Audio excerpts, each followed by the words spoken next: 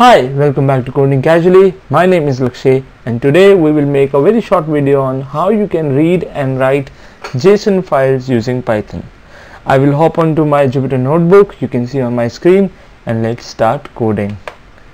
So in order to write a JSON file uh, what you can do is you can simply import JSON and then uh, what you can do is you can create a dictionary for the sake of it we are just uh, make my dict uh, that will be um, it could be name and then I can write Lakshay. Uh, this is how we create a dictionary. Plus let's add um, age as well and then we can write let's say 30 and then uh, what we can do here is um, we can write another parameter if we wish to just to make it more exciting what we can do is save subject and it could be coding then if I want to see what I've written I can write this and then press enter and this is a normal dictionary. But if we wish to write uh, the same into a JSON file what we can do is we can create a JSON object. This is a variable. You can write it uh, you can write anything if you wish to. And you can write JSON dot dumps uh, sorry.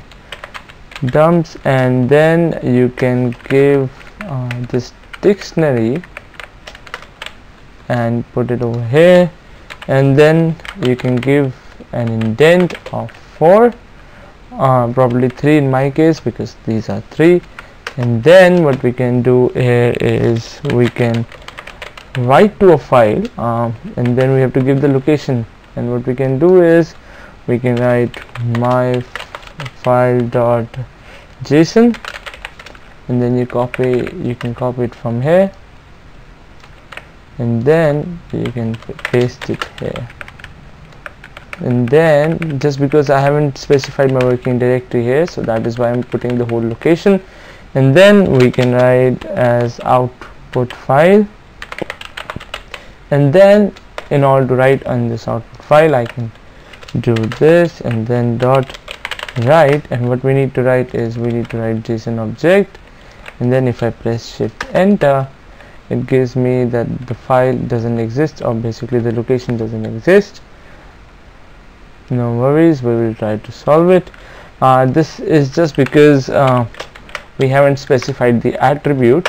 Now if I press shift enter you'll see that there is a file which got created and if you want to open it uh, using notepad you can use it I mean you can use a notepad to open the same and if you can see you'll see that yes this has now indeed been converted into a JSON file.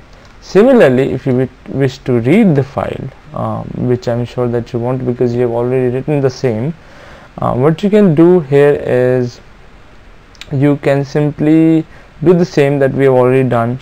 Uh, we can import JSON as a module of course and then we can write with open the same file that we have already written um, that will be this one till here.